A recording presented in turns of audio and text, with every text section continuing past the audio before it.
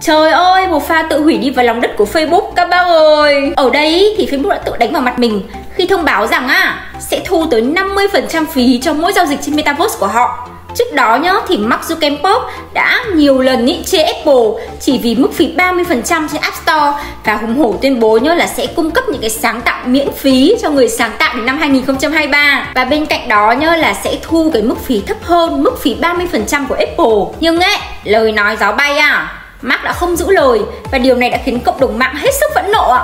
Chia sẻ rằng á tôi ghét Facebook. Nếu mà Meta muốn 44,7% doanh số NFT, họ phải nói chuyện với IRS bởi vì ấy, tôi thậm chí còn không có khoản đó sau thuế nữa. Giờ chưa biết hình hài Metaverse sắp tới của Meta sẽ như thế nào. Nhưng hiện tại ấy, thì cộng đồng có vẻ là không thiện cảm lắm với công ty này. Nào giờ thì chúng ta sẽ cùng chuyển sang một hệ thống Metaverse khác xem sao nha. Asterix à, dự án là về đua xe khoa học viễn tưởng xây dựng trên BAB Chain. Ở đây thì người chơi là có thể kiếm token MVE, token quản trị bằng cách staking NFT. Ngoài ra là còn có thể là tham gia chơi game trên hệ sinh thái Asterix này hoặc là nhận những cái đợt airdrop trong các sự kiện của dự án.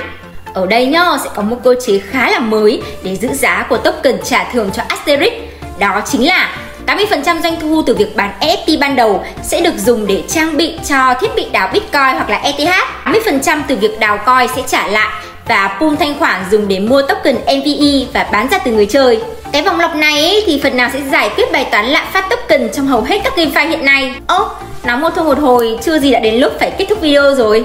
Và các bác hãy bấm theo dõi GM Ventures để luôn cập nhật những cái thông tin và mẹo hay trong crypto nha. Tạm biệt các bác!